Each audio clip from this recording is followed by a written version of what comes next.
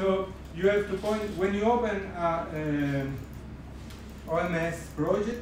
So when you set from here your project, okay, you have to go in the Cavone folder. It becomes blue. It means that you select it. If you just if you don't select it, it doesn't know the path. Okay. So as I showed you before, you just make it blue. It means that you are selected. So you are done and then you do open, okay? If you do like this, you probably don't get any error. Did you try? Did you get? When do you open it? Ah, you, Make it open or? uh, yes, I told you before also to close all of them.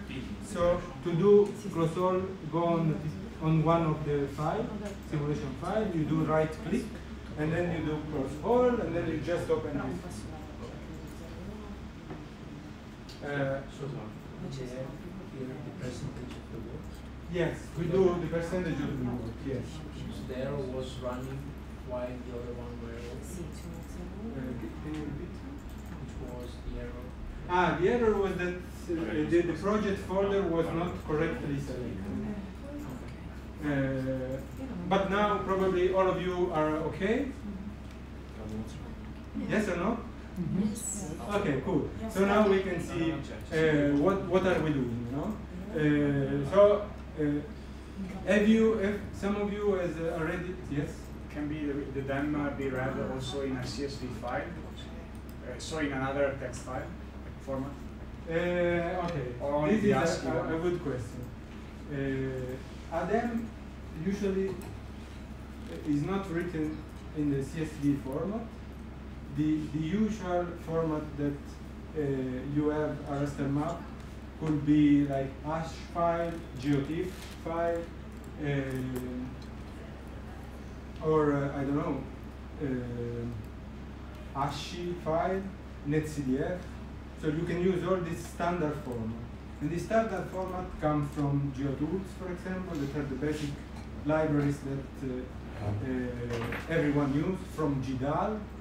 But I, I never, uh, I, I never uh, opened a raster map with CSV. No, because the CSV, okay, you open it and you have a shapefile. And you, you should convert the shapefile in a raster. So this is the opposite side of the matter. Okay, this is the only one. So I have to do this passage before adding a raster. So I understand. Okay, I. Well, we, we can we uh, pro okay. Uh, the the the CSV file is just a comma separated file. It's not as a shape file. No, okay. Yes. okay. No, Uh, okay. uh, okay. We will do at the break a short discussion on this. We uh, we can go further. So okay, we we are running a pit filler. Uh, have you never carried out a pit filler uh, geomorphological analysis? Yes or no? Yes. Do you know why this comment is uh, important, or it is the first thing that you should do? For around the pit filler, uh, the basin must be already defined, or No, no, I no. can We are uh, starting. We are starting from scratch. Then we also the basis. Ah, okay. okay? Uh, so this is just uh, okay. Uh, I'll show you in QGIS from what we start. Okay.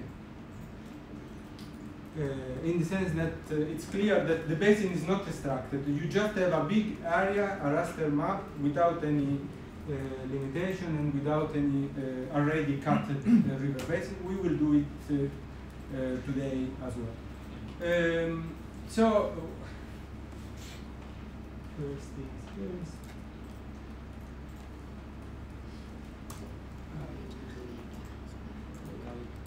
Data input from where we are starting is here.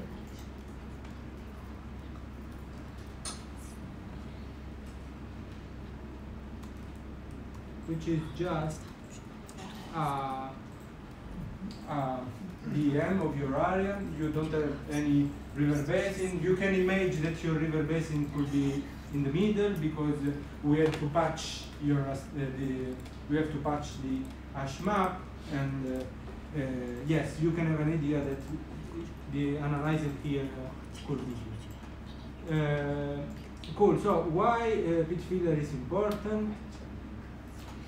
Uh, okay. Uh, so here I'm using some some um, uh, slides that uh, are made by Silvia Andrea, which are the Silvia was the the that was here yesterday, and uh, they are uh, owner of the hydrology uh, uh, startup that started with Riccardo, and they did a lot of uh, works on porting the Horton machine from old code to Java and so on. Uh, when we go, so why we have to do pit filler? Because when when uh, we uh, analyze uh, our uh, DEM, which are uh, in practice in our in our mind is the surface, no elevation and x and y. We want we want that this function is continuous, and we want the first and the second uh, and the second derivative continuous. Otherwise, we cannot compute the slope. We cannot compute the um, the uh, curvature that are second derivative and so on. So we have to fit, uh, we have to fill uh, some pit, and these pits are usually uh, due to uh, artifacts. Uh, so uh, we want to make the drainage, the computation of the drainage director direction smooth and going from the uh, upper part of the basin continuously to the outlet of our basin. So in order to avoid that the uh, drainage direction that we are going to compute later stuck in some artificial uh, pit which is contained in our uh, DEM, then we run first pit filler. So we fill the artifacts that are uh, making not continuously, eventually, our drainage direction. So this is why we, we do that. So the output of pit filler is just a, a DEM, a DEM, is your DEM, uh, so still elevation, uh, which are uh, corrected in the sense that uh, if there are some pit, they are filled. So this is what we do, and uh, here, uh, um, as you can see, you specify uh, in the, in the in the object modeling system uh, console, you can specify specify the input folder, for example, and the output folder. In this case, uh, the input folder we saw that is in uh, data, and the output folder is in uh, output Cavone geomorphology 2. And then you don't, you should not modify uh, anything because uh, what we do here, I explain a little bit the the, uh, the sim file now. So we use uh, uh, three components, only three components. The first one is the raster reader, we, in which, and we use this uh, raster reader because we want to read our raster map. Okay, we have the raster map here in uh, in our input folder. You see them DEM. Uh, so we want to read this. So uh, we use uh, raster reader. Then uh, we- use uh, pit filler, which is uh, the command that make you make you fill the pit. And then what we want to do is to write the output map. And for doing this, we use the uh, raster writer. So, and those are the, the, the components that we want to use. Then those components need some information, some parameters, and we specify the parameters. In your opinion, what are the information that those components uh, needs? You can read here uh, from there. In fact, the, the reader components, which is the one that read the file, uh, the raster file, just needs the path to the file. So where is the file that I want to read? And you specify it uh, here. Here you can you, you are telling to the reader component that the file that uh, he ha it has to read is in the folder uh, uh, Basilicata, then and then in the home of the project. Okay. Is it clear or not? Yeah. Do you do you have any question on this? Are you okay? Uh, so I have a question for you. Suppose that I don't want to read this this uh, file uh, uh, DEM Basilicata, and suppose that I want to read another file which is on my desktop. What So you can just change the path. the word stream. So this is useful for you when you want to read the other DEM that uh, you want to manage, you want to use for your exercise. Okay, and then the other parameters is uh, what? Is, uh, in your opinion, what is the other parameter? The other parameter that uh, we need? Where the uh, the model gonna save that? Perfect. So we are telling the, him the string to uh, that specify the path to where in your computer he has to write uh, the output, which is the pit filler. In this case, so the output of this uh, uh, command uh, is a raster map, and uh, the name of this raster map it is uh, pit. Just we we gave this name here and it will write this in the output folder. Is yeah. You are setting there the in folder and out folder that you set on top of the script. Perfect. Yeah. What if the then original file is outside of that? But it, it has to be in data. In the folder data. He has to be in the folder data because in my uh, in the sim file I specify the input folder here. Uh, but you can so I just with in folder and output folder. Uh, uh, I wanted to give the idea that uh, you can have uh, um, path that can be uh, a string, so uh, it can be dynamic. So, for example, if I want to go in another folder, I just access to the other folder with this uh, dollar and uh, curly. Okay.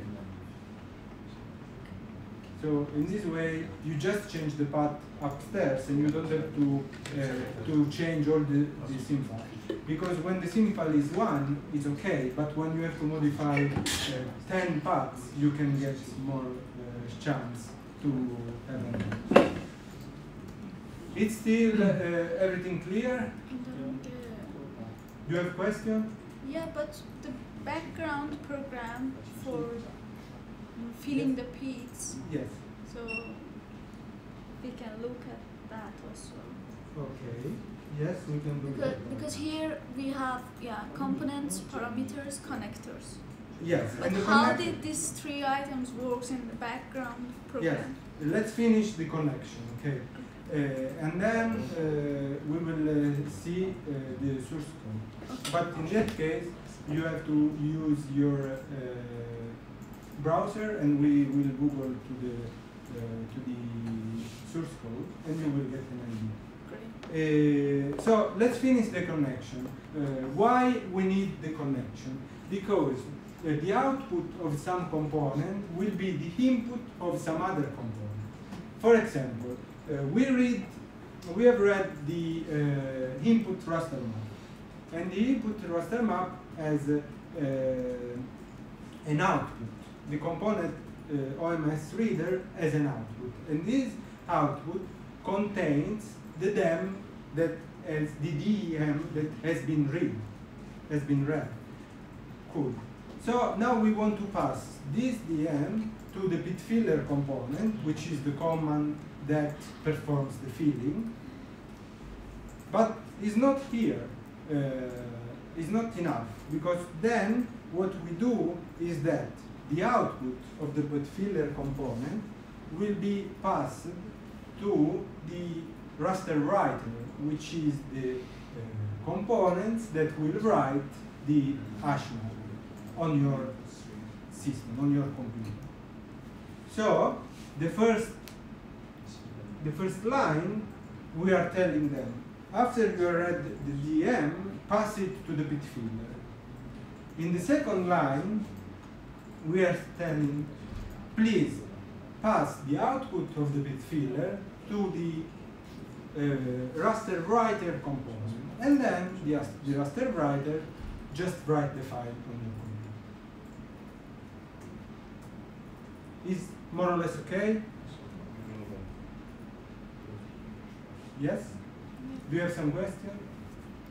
Uh, it's good if you have questions because most of the command that we are going to run uh, makes uh, they works like this. So uh, I would like to spend five minutes more to the first component and then go smoothly to the other one. Could you say it again? Why uh, the first connect line? I mean, uh, what does it do?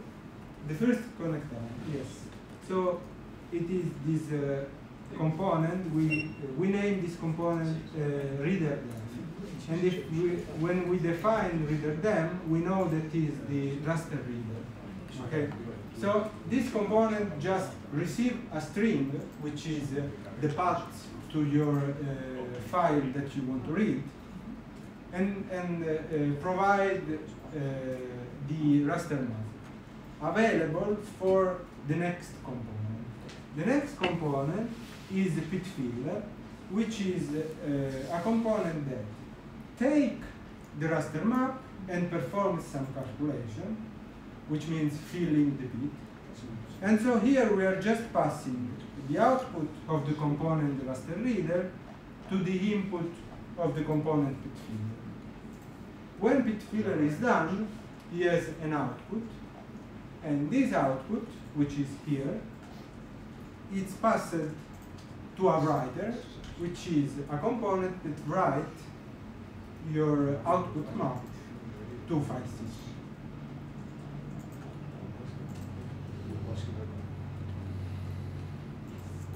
Any other question? Yes. This language is Groovy.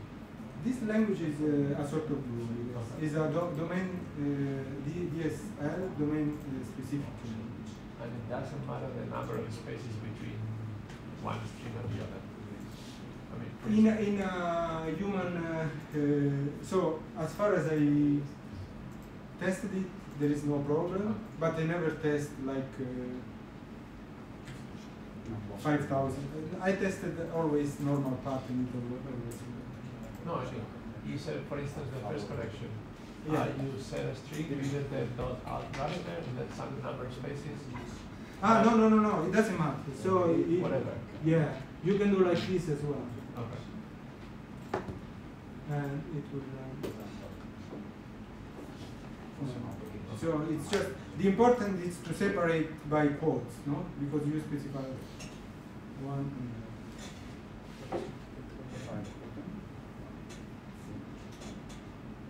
And uh, other What- question? What is the uh, connection between pit dot in elevation ele read pit dot out pit?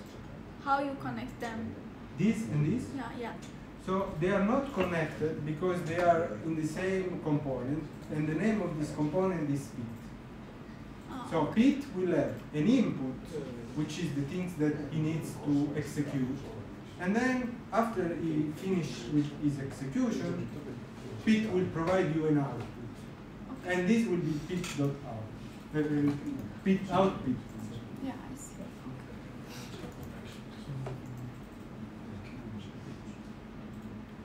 Other question? No, no, I'm gonna go there. no, no, no, I shall. Uh, the name of uh, input uh, and output. For example, pit uh, dot uh, in ele- electric. Yes. Where we I, can find. I read uh, on the manual. It's not uh, explained uh, uh, if it's the, the name, uh, the right name, or it's a name that I can give to the. Okay. So what you did was to open the. Yeah. Uh, the PDF OMS uh, with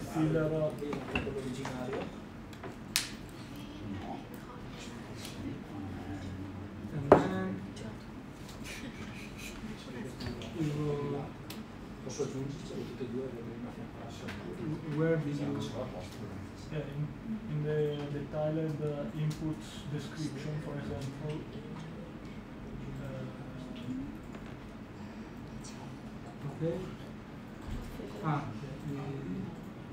you just say the digital relation model, yeah. and you are asking why you don't find uh, the No. name. It, uh, a function name or, or what? Don't. Uh, you remember the water tank? Yeah. Okay. The, the water tank example. It's the name that the programmer decided to give Ah, okay. to the to the to So- the input. Okay. So you, you if you if you wanted if for example another programmer which is the one that made the code can uh, can write I want to call it not in a lab but Ah, in elevation. Ah, okay. It's not uh, uh, uh, okay. This is uh, only an input, but in another, in another case it could be A uh, parameter. Yeah, it's not a, a name uh, defined by by the, the No, the, the things that you define is this. The things that you define is uh, the, the the string on the left.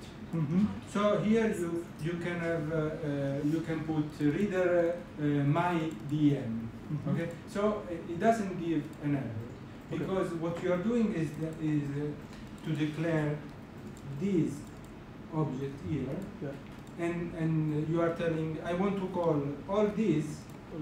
Yeah. I want to call like this. Okay. Ah, Uh, so then you can use whatever name you want here. Mhm. Okay. Yes.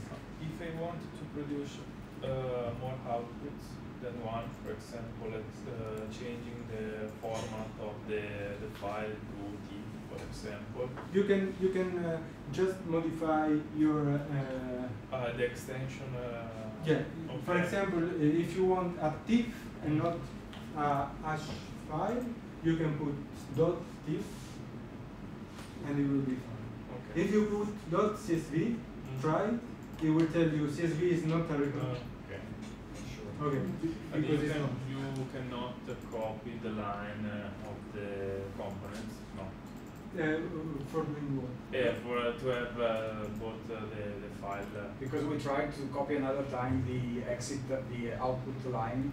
So uh, again, to have also to the uh, ASCII file also a, a TIFF file, but it can do, you can cannot do twice. Because you are calling it with the same name. okay. If you call it writer pit and then a new one, you call it writer pit 2, uh, and then you have also Yeah, you have to. Uh, you have also to put here writer pit 2 with yes. Okay, you uh, have to double up the. yeah. Okay. But I don't think this is a uh, so it, it can be done. Yes. Yeah. Okay. Uh, but if uh, I have to do it, I will just modify the input string. Any other question? You're okay? Good. Uh, ah, to, to look at the source code. To look at the source code. Uh, I will do it on my computer and then you, I tell you where to download the file. Uh,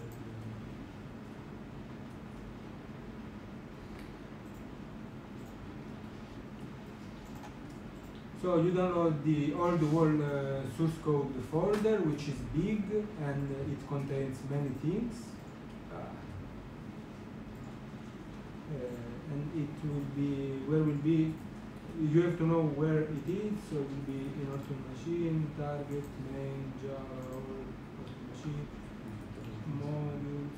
Uh, dimension, filler, and here you find the which is a Java class. Okay, so in the Java class you find uh, exactly the same annotation that we, we show you yesterday.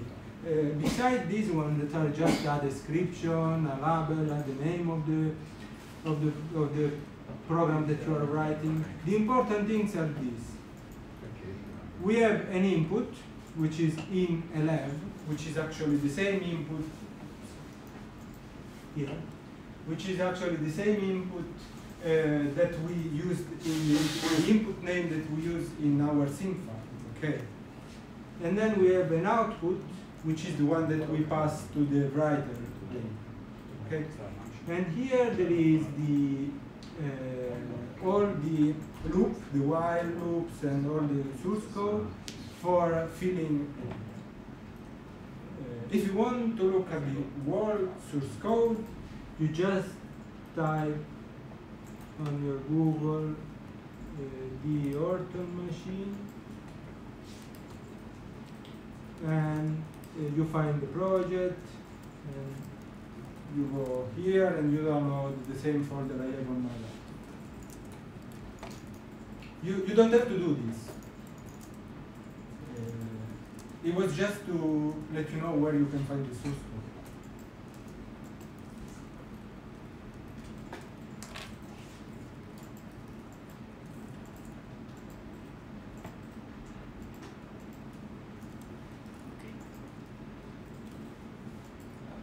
Okay?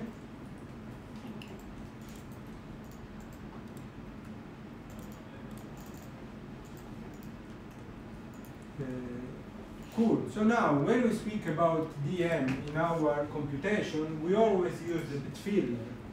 Why? Because if we run our next command with uh, the original DEM, the original DEM may have the, the pit that will cause problems to the computation of the derivative and so on. Whereas when we speak about DEM, now we will always use pit filler, okay, and not the original DEM. The second things we do is uh, the flow directions. Uh, the, the name already explained itself what uh, it is, and uh, it computes the flow direction. So, uh, do you know any method, the most, the simplest method to compute flow directions? ArcGIS. ArcGIS is the tools to, That's to do that. Okay, but uh, usually you have a raster map, and you have uh, a closer cell. So if I want to know, uh, if I am in these cells and I want to know uh, where I go, uh, because I have the elevation of this, which is provided in the uh,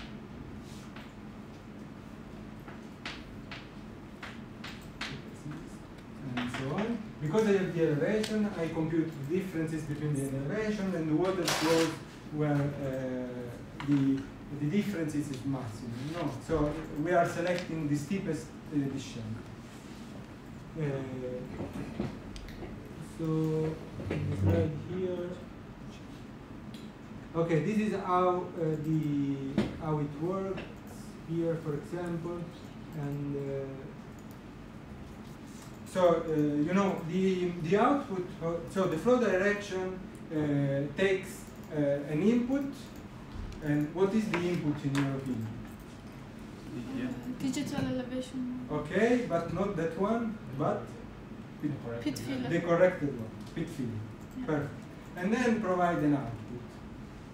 Uh, in your, uh, thi- this output is still a raster map, but this raster map is particular because uh, you know we have to say in which direction we want to go. So we can go uh, just south, or we can go north, or we can go east, or we can go uh, west, uh, or uh, in uh, along the diagonal. Okay, so uh, the raster map contains numbers. So each of these direction is uh, codified. So for example, if your uh, output of the flow directions contains the number one, so it means that the direction, uh, if you look here, if it contains the number one, it means that we are going in this direction. Number two in the direction, number three north, and so on. Okay. This, why this? Because it's a convention. If you want to change the convention, you can do it on your own because all the other, uh, the following uh, uh, routines, uh, components that we run are based on this convention. Okay? So when we go and look at our uh, output map of the flow direction, we will find a map which contains value from 1 to 8. If it contains the number 1, it means that the flow direction for the pixel goes in uh, this direction. If it contains number 7, it goes south.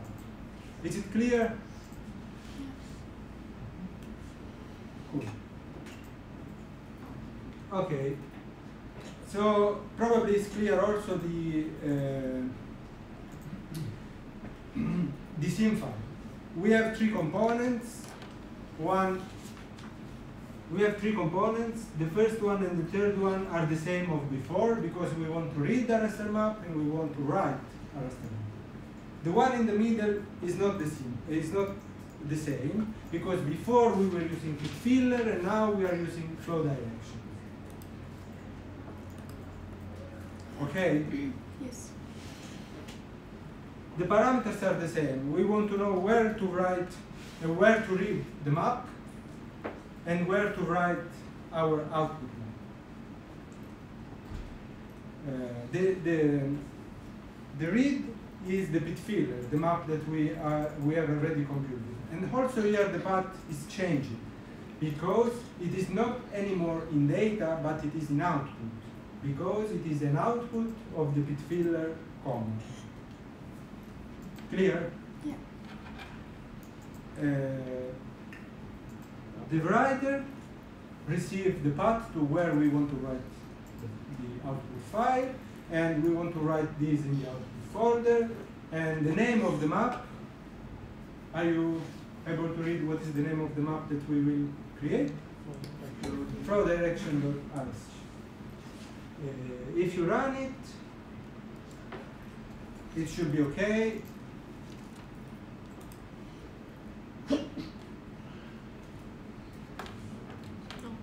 Yes, I didn't explain about this. So, step by step, the program uh, tell yes. I have error. Okay.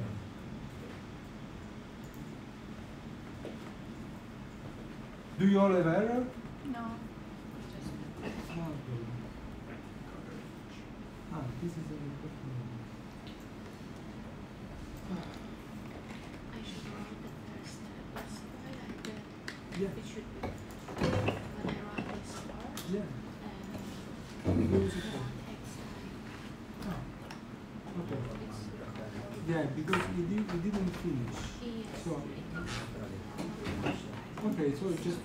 please.